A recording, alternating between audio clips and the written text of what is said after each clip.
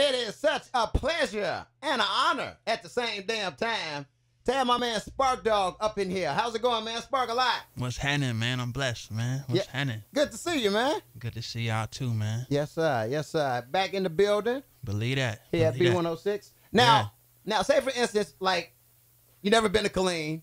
You never heard who SparkDawg is, because I'm sure it's a few people out there that haven't. Just a few. yeah, Maybe it's a few. Yeah, yeah, yeah. Uh, break down who SparkDawg is. SparkDawg, man. You know, I'm, I'm a kid from the country of Panama.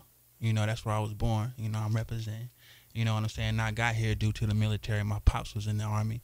You know, and um, yeah, man, I'm a kid who um, just always had a passion for being an entertainer, and uh, and hooking up with some high school homies Yeah. a few years ago. Um, big clique by the name of Green City. Break now break that down for me because I'm of course from Chicago. Okay. I do remember hearing that back in the day. Uh, maybe what about ten years ago, Yeah, something like it, man. something like that. Yeah. Okay, because I was on the air in Chicago, and of course I'm hearing music from all all around. That that does sound familiar, but refresh my memory. What Green City is, man? How, Man. how did that start? Like, talk to me about that. uh, Green City was more like a like a high school clique. You know Okay. what I'm saying? And once we got grown, you know, people really just took the music like super serious and Mhm. clicked up, and you know, we put a project together that was called First You Get the Money. Okay. Somehow that project grew legs and made its way into Houston in, in the hands of Scarface, Aha. Texas legend Yes, from the. Geto Boy Scarface. Yes, sir. you know, and um, he ended up tracking us down and calling us like, "Yo, I want to sign y'all." Really? and that was really how I feel like you know we just really just really just put the city on the map back then. So it was a group of y'all. Yeah, How definitely. many? How many? Man, about six, seven. Okay. You know, not just just the rappers. Gotcha. Green City as a whole. You Yeah. know, it's like it's, it was a super super squad clique.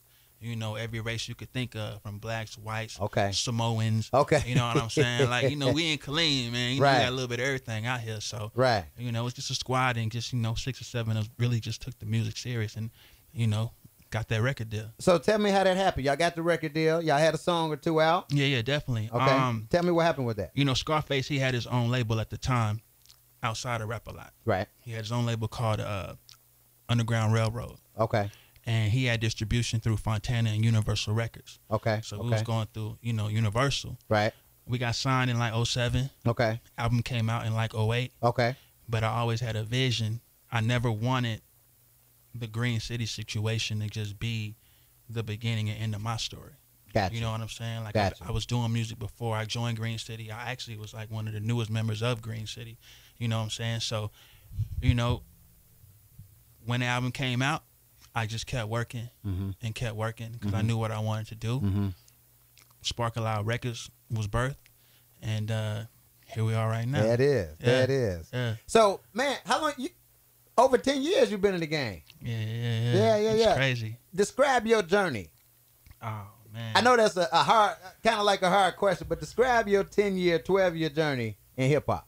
Um, I would say it probably started way before the Green City situation, uh, just because I had left Killeen and I had moved to Atlanta, Georgia. Okay. I ended up getting a manager, and this manager just happened to be the same manager who had Crime Mob.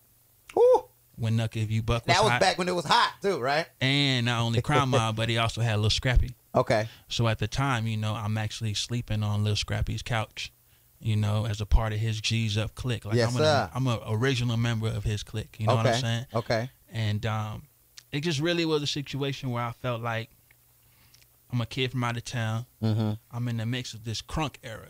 Yeah. Back when, you know, if Lil Jon went on your beat, you weren't popping. Not at all. You know what I'm saying?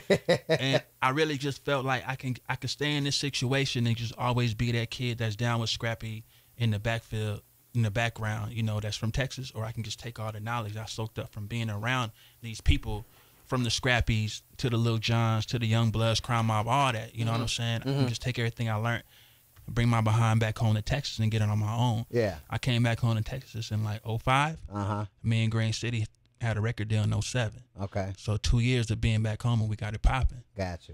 Yeah. As I, so piggybacking on the question, you have your ups and your downs. You know what I'm saying? You had that time when you're hot, and then you got that time when you know people ain't really checking for you. You know what I'm saying? You've Yeah. been through the ups and the downs of it. You Yeah, feel yeah, me? You yeah. know when you was uh, people weren't so necessarily checking for you, but now you got a great situation about to happen. Yeah, I Or definitely. something like that. I definitely got a got a situation, man. I'm actually um, you know, speaking to that person, he actually just hit my line and said he tried to call, but Oh, he tried. Okay, he that- couldn't may- get maybe through. that's him. We got to put our headphones on that. If we, if we want, if we want to hear who's calling in right now, if we trying to hear who's uh, calling in, uh, Drumma. What up? What up? What up? What up? Got SparkDawg right here.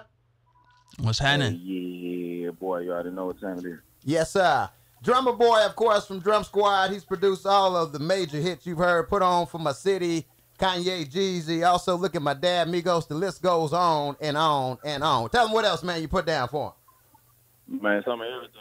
All my children, Gucci Mane. You know, what I mean, we just did the uh, No Love for uh, August Alsina, Nicki Minaj. Yes, we just sir. did that new We Poppin', uh, NBA Young Boy featuring Birdman. You know, definitely download the latest uh, Until Death Called My Name project by uh, NBA Young Boy. Okay, you out here, you doing your thing. So, so tell me about. So I'm in here talking to Spark, and uh, he just broke down to me how he started the whole Green City movement, and we uh, were just about to talk about the fact. You know, we were just talking about how MC starts off. People are checking for you, and then you know you get that lull Well, ain't nobody really checking for you, and then you bounce back. You know, and you're a part of the bounce back. Absolutely, it ain't it ain't no other way. What what? How better is it to bounce back with somebody like me? Absolutely. Absolutely. So don't let the people know what's going on, man. You got SparkDawg, we got Drumma Boy on the lines. Explain Drum the big Squad news. Records, DSR the label. Drum Squad Records, DSR the label. Follow us on Instagram. Follow us on uh, Facebook and all that. You know what I'm saying? And it, it, it's really like imagine Russell Simmons when he first started Def Jam. You know what I'm saying? Imagine Diddy when he first started Bad Boy. I feel like I'm the only young producer that's that's in, on an executive level that's starting a label independently. You know what I mean? From the ground up. You know what I mean? So who better to do it but me? All right. Now you got SparkDawg on the team, or or, or what, man? What what happened? What's going on Yeah, with that? SparkDawg Drum Squad, man. It's official. You know what I'm saying? We we signed Q Monte out of Virginia. You know what I'm saying? We got probably about about uh, six or seven artists that we just signed, and you know, SparkDawg is is is is is the lyrical side. You know, the Yes, component sir. of our South. You know what I mean? And really spitting. You know, we got the melody and the melodic tunes and whatnot too, but we got real bars.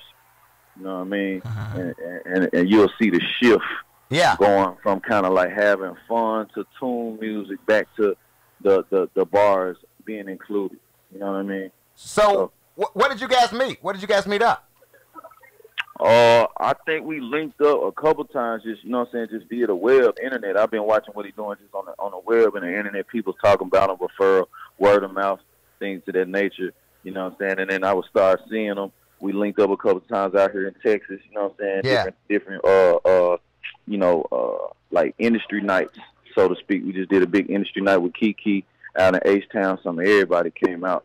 So it, it's I, I'm always like, you know, preaching that if you really want to change your life, the artists that's really helping themselves, they come into these meet and greets. They come into these industry nights. They coming and shaking hands with guys like me and DJs and whatnot. You know what I mean? And we got to conversating. One thing led to another. TJ's DJs uh, was was was speaking on him. You know what I'm saying? And, and speaking on his behalf, and we just made some some magic happen. That is, man. Well, well, uh, congratulations to your brother Spark. Hey, So- hey. So when you found out the news that they wanted to sign you, man, that Drumma wanted to put you down, man. How, how did that make you feel? I mean, obviously, you know, a kid from a small city of Killeen, uh, you know, has somebody, you know, of, of his stature reach out. you Woo, know, that's huge, man. it's crazy. Yeah, So yeah. We finna go Right. crazy. You know what I mean? That's what's up, man. So, uh, you know, we, we got paperwork and, and studio time and stuff we need to go through and go, go, you know, get in the studio and work and work. When can we expect uh, a project from you? Sometime next year? We're going we gonna go and try to get something out for the new year. Well, I mean, I plan on being in Atlanta like ASAP as soon as the ink, you know, dries on the Yes, paperwork. sir. you Yes, know? sir. Um, as far as when it when it comes out, you know, that's that's on Big Homie. You know, All right. I'm, I'm gonna follow his lead with it. I'm gonna, So, let, him, I'm gonna we- let him speak on that. We know you're going to have some hot tracks, so Oh, that's that's that's the easy part. you know what yeah. I mean? Yeah. Mhm. Well, cool, Drumma. We appreciate you, man. Thanks for, for taking time out of your schedule to, uh, you know, just let Killeen know and everybody that's watching and, and paying attention to this that you, you know, you got a new signee and he's repping Killeen and and he's about to do some bigger things. Yes, sir. You already know it. All right, bro. Well, continued success to both of you, gentlemen. Both of y'all. Drumma Boy. Of course, we spinning his joints on the radio. You're gonna hear something in the next five to ten minutes that this man has produced. And of course, SparkDawg. Uh, man, you out here now, baby. Back, back on, back on it. Let's Make it. proud, man. Make him proud. Man, you know it, man. K Town, stay down, man. You know I brought you some gifts too, bro. Oh, okay. Yeah, you know I came bearing gifts. What, what you got for me over there? What you got for I me? mean, this is the official, you know, Team Spark a Lot Drum Squad takeover. Yes, sir. Yes, sir. B106, so, Yes, it is. Yes, you it know, is. We gotta bless you in. Uh, yeah. know? I need an interlude on the album, man. Put me down. You know, I mean, first of all, you know, it's hot in Texas, so I had to bless you with the Team Spark a Lot tab My man, appreciate that. Good look. for sure. All right, he You come bearing gifts, man. Call him Oh, you know- Santa Sparker. You know, I stay fly, so I had to get bless you with the with the official T-shirt. Yes, sir. Beautiful. You know Beautiful. what I mean, and uh, you gotta top it off with the official dad hat. Right? Oh yeah, that's great. I'm You know, I'm gonna wear that when I hit the golf Now course. let's, it's one size fit all for you. Okay, you see, I got a dome Yeah, out I here. know what I mean.